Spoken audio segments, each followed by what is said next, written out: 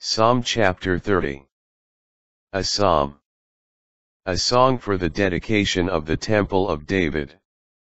I praise you, Lord, for you raised me up, and did not let my enemies rejoice over me.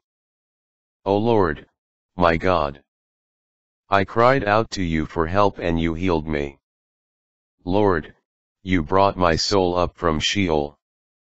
You let me live, from going down to the pit. Sing praise to the Lord, you faithful. Give thanks to his holy memory. For his anger lasts but a moment.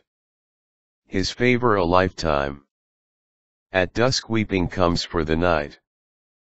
But at dawn there is rejoicing. Complacent, I once said. I shall never be shaken. Lord, you showed me favor. Established for me mountains of virtue.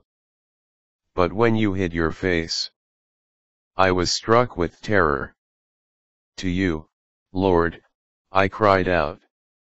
With the Lord I pleaded for mercy. What gain is there from my life blood? From my going down to the grave?